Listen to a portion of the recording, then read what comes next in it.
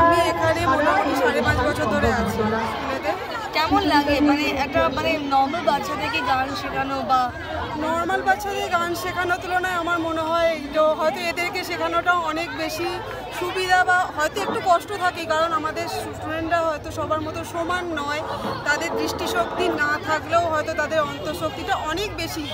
কারণ ওদের অসুবিধাগুলোকে যদি ওদের সুবিধার মধ্যে দেওয়া যায় তাহলে কিন্তু ওরা কারোর থেকে পিছিয়ে আজ আমাদের স্কুলের ছেলেমেয়েরা শুধু গান নয়, গানটা তো অনেক সুবিধা, সেটা তো শুনে শুনেই করা যায়, হয়তো চোখে দেখার প্রয়োজন পড়ে না গানটাতে।